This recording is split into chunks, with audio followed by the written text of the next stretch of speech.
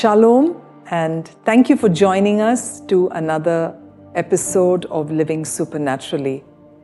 We have looked at some of the prayers, some powerful prayers that have been prayed in Scripture, and we are using it for our context, for our situations today. Today we are praying the prayer of equipping, and it is taken with reference to Hebrews chapter 13, verses 20 to 21, which we will pray at the end. Now, if you look at these verses, this is like a benediction or it is a blessing to the Hebrews. This caught my attention because it did sound like a prayer. We see that it is God's will and God's purpose that you and I, as believers, are thoroughly equipped in everything or every task that He's called us to do. We're going to think about this equipping in three ways. What are we equipped by? What are we equipped with? And what are we equipped for? So, when we look at the verses, we see that we are equipped by the God of peace. He is the God of peace. He is the one who makes peace. The God of peace wants to equip us with everything so that He can make peace with us.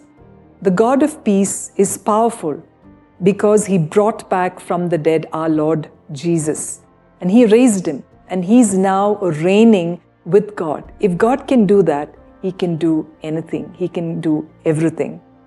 The God who wants to equip you is also compassionate. He's like a shepherd. He's trustworthy. He's loving. And He's the one who's paid the price for our peace. So, what are we equipped with? We are equipped with everything good for doing His will. In other words, it means for whatever is needed. God promises to equip you with everything good for doing His will.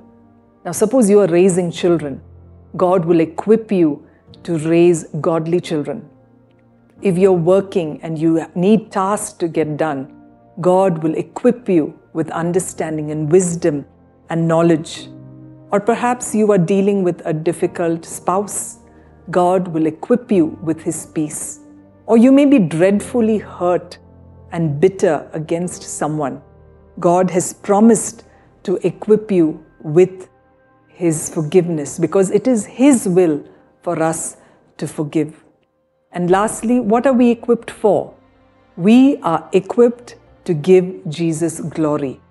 We've been equipped with everything for doing His will, for what's pleasing to Him, so that we could in turn give Him glory. Now, that's the purpose of our life, that we will be equipped to doing everything according to His will by Him, by the God of peace, so that we could give Him glory.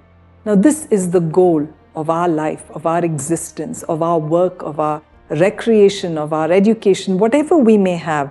This is the purpose that God has called us for. So let's pray this prayer of equipping. The scripture is put up for you on the screen, or you could follow it in your Bible as we pray together.